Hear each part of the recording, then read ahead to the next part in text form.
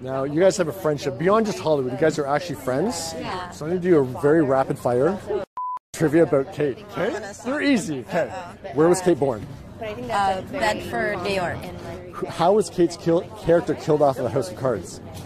Um, she got pushed in front of a subway train. How many siblings does she have? Thank you. Four? Three. That was good. Okay. That was close.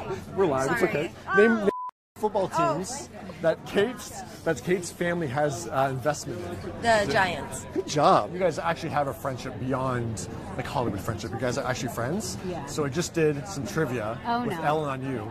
How'd So she do? Three out of four. Am Okay. I gonna fail? I'm You're swearing too. Everyone's swearing. Okay, go on. Here we go. Okay. What? This is easy. What film scored Ellen an Oscar nomination? Juno, What boy band did Ellen cover a couple weeks ago in a dance video with Emma? Backstreet Boys. Yes. Where was Oh, Ellen good. born? Canada. Nova Scotia. Yes. Oh, okay, Oh, okay. Three. One more. What is the name of Ellen's other film at TIFF that just got bought? Wow, you're good. I beat her. Man, I'm a four to four. friend.